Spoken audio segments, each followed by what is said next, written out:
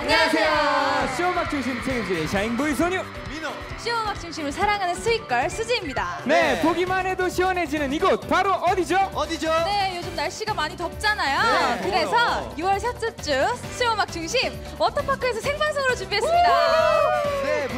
시원한 특별 생방송 무대에 시청자 여러분 이 시원함이 느껴지시나요? 그렇습니다. 이곳에 있는 것만으로도 네. 더위가 싹 가시는 것 같은데요. 네. 어, 이 상쾌한 무대에 걸맞는 멋진 가수분들이 준비하고 계시잖아요. 네, 새로운 곡으로 달콤하게 돌아온 시크릿, 시크릿. 몽환적인 세계로 여러분을 안내할 써니힐. 네. 이뿐만이 아닙니다. 네. 백지영, 클로버, 그리고 장우혁, 비스트의 강렬한 무대가 이어지니까요. 여러분 끝까지 채널 고정해주세요. 네, 그럼 신나는 거북이의 무대부터 시작해 볼까요? 주인공.